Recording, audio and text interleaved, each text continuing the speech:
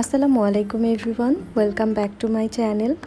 আজকে আপনাদের সাথে আমি খুব সহজ একটি নাস্তার রেসিপি শেয়ার করব। আর এটা তৈরি করা যেমন সহজ, খেতেও হয় অসম্ভব মজার। দেখবেন বাচ্চা থেকে বুড়ো সবাই এটা খুব বেশি পছন্দ করবে। তো চলুন কথা না বাড়িয়ে চলে যাই মূল রেসিপিতে। আমি এখানে ওয়ান থার্ড কাপ পরিমাণ তরল দুধ নিয়েছি। এর ভিতরে দিয়ে দিচ্ছি স্বাদ মতো লবণ। দিয়েছি চিনি দুই টেবিল চামচ আর দিয়েছি এক টেবিল চামচ পরিমাণ ইস্ট। এরপর দিয়েছি ভ্যানিলা এসেন্স কোয়াটার চা চামচ পরিমাণ। এখন সব কিছু একটু ভালোভাবে মিশিয়ে নিতে হবে। আর সব কিছু মিশিয়ে নেওয়া হয়ে গেলে এর ভিতর দিয়ে দিচ্ছি এক কাপ পরিমাণ ময়দা। আমি এখানে টোটাল এক কাপ আর হাফ কাপ ময়দা ব্যবহার করেছি। আমি আপনাদেরকে ক্যামেরায় দেখিয়ে দিচ্ছি আমি ঠিক কতটা ময়দা ব্যবহার করেছি। আর এখন এই ময়দাটাকে খুব ভালোভাবে মথে নিতে হবে। আর খুব ভালোভাবে মথে একটা সফট ডো তৈরি করে নিতে হবে। এখন এই ময়দার সাথে আমি এক টেবিল চামচ পরিমাণ রান্নার তেল ব্যবহার করছি।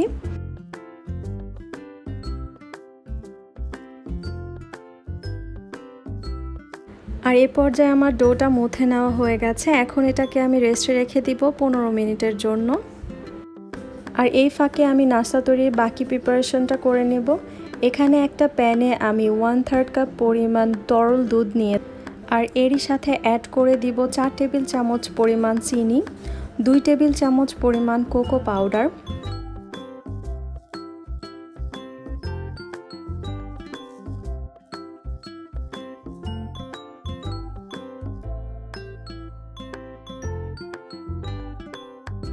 আর সাথে অ্যাড করব কোয়াটার চা চামচ পরিমাণ চকলেট এসেন্স এবং কোয়াটার চা চামচ পরিমাণ ভ্যানিলা এসেন্স আর এখন সব কিছু খুব ভালোভাবে দুধের সাথে মিশিয়ে নিতে হবে।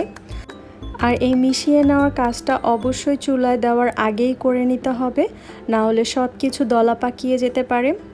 এখন দুই টেবিল চামচ পরিমাণ পানির ভিতরে এক টেবিল চামচ পরিমাণ কর্নফ্লাওয়ার দিয়ে এই মিশ্রণের সাথে অ্যাড করে নিচ্ছি। দিয়ে দিচ্ছি সাথে এক টেবিল চামচ পরিমাণ বাটার। এখন সব কিছু খুব ভালোভাবে মিশিয়ে নিচ্ছি। আর এ পর্যায়ে চুলার আঁচটা অবশ্যই লোতে রাখতে হবে। আর মিশিয়ে নেওয়া হয়ে গেলে এটাকে চুলা থেকে নামিয়ে রাখছি ঠান্ডা হওয়ার জন্য। আর পনেরো মিনিট পর দেখতেই পাচ্ছেন ডোটা ফুলে একদম ডাবল হয়ে গেছে। এখন এটাকে আরও একবার মথে নিতে হবে। এতে করে এর ভিতরে থাকা যত এয়ার বাবল আছে সব বের হয়ে যাবে।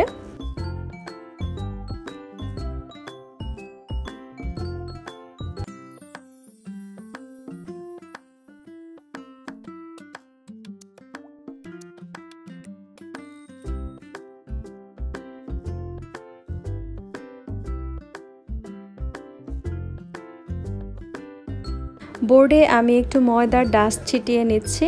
এরপরে এই ময়দার ডো দিয়ে আমি একটা মোটা রুটি বেলে নিব।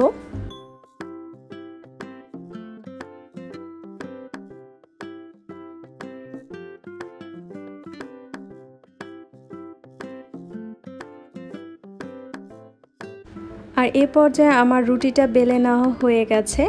আমি আপনাদেরকে দেখিয়ে দিচ্ছি রুটিটার পুরুত্ব ঠিক কেমন হবে। এখন একটা কুকি কাটার দিয়ে আমি ছোট ছোট নাস্তার শেপ করে নিচ্ছি।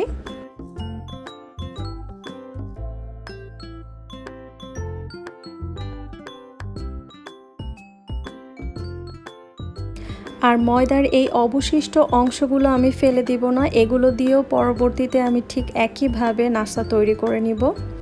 নাস্তাগুলো তৈরি করার পর পাঁচ মিনিট রেস্টে রেখে তারপর ভেজে নিতে হবে। আর এই নাস্তাগুলো তৈরি করতে কোনো ধরনের তেলের প্রয়োজন হবে না। তেল ছাড়াই এই নাস্তাগুলোকে ভেজে নিতে হবে। ঢাকনা দিয়ে ঢেকে পাঁচ মিনিট করে এপিট ওপিট করে ভেজে নিতে হবে। আর এ পর্যায়ে চুলার ফ্লেম অবশ্যই লোতে রাখতে হবে। দেখতেই পাচ্ছেন, নাস্তাগুলো ফুলে একদম ডাবল হয়ে গেছে।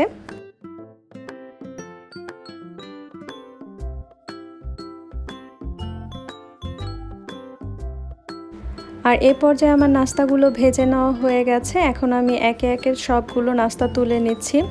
আর এই একই প্রসেস ফলো করে আমি বাকি নাস্তাগুলো ভেজে নেব।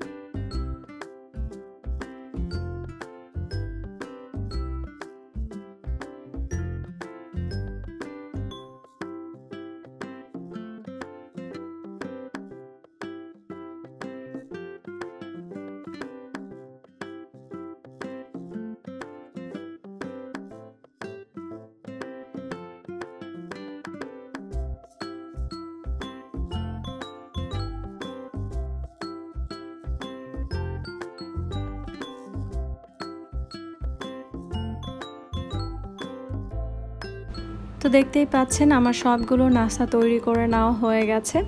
আর এগুলো দেখতে যেমন সুন্দর হয়েছে, খেতেও আলহামদুলিল্লাহ অনেক বেশি মজার হয়। আর এই নাস্তাগুলো এতটাই সফট হয়, দেখবেন বাচ্চা কিংবা বুড়ো সবাই দেখবেন এটা অনেক বেশি পছন্দ করবে আর অনেক বেশি মজা করে খাবে।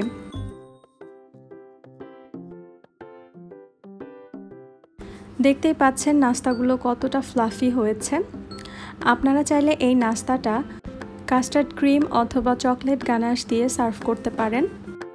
আশা করছি আমার আজকের ভিডিও আপনাদের কাছে একটু হলেও ভালো লেগেছে। যদি ভালো লেগে থাকে তাহলে অবশ্যই বাসায় একবার ট্রাই করে দেখবেন। আর কমেন্ট করে আমাকে জানাবেন কেমন হয়েছে।